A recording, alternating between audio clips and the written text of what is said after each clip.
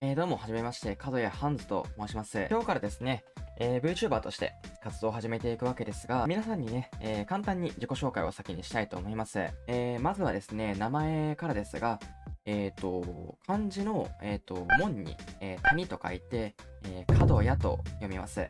で、下の名前はそのままカタカナでハンズですね。えー、Twitter や TikTok は、えっ、と、今出ているですね、えっ、と、ID ですね。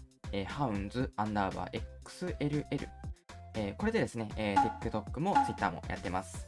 えっ、と、概要欄に、えー、URL も載せているので、えー、ぜひね、えー、フォローをお願いします。次に、えー、配信内容についてですね。えー、っと、えー、配信内容は主にゲーム配信をね、えー、やっていきたいと思っています。今のところはですね、えっ、と、配信を予定しているゲームなんですが、Apex、えー、マインクラフト、バロラントあたりですかね。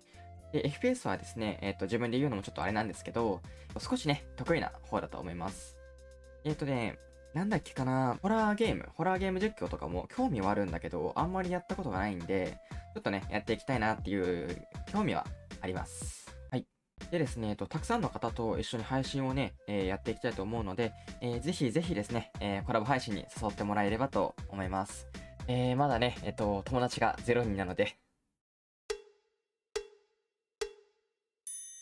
えー、最後に、えー、一つだけお願いがあります。